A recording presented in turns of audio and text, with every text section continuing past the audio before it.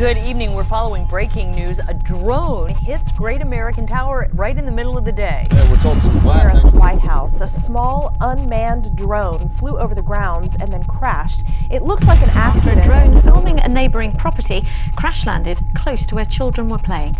The operator was following a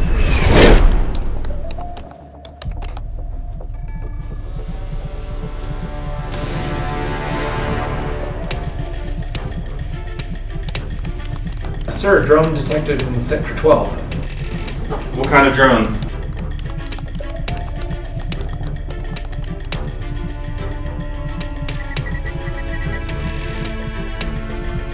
It's a DJI Phantom 3.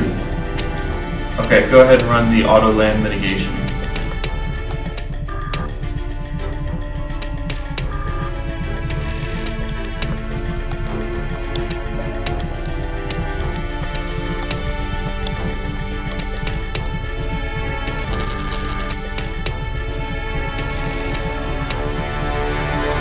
Okay, great. We'll get security out to pick up the drone.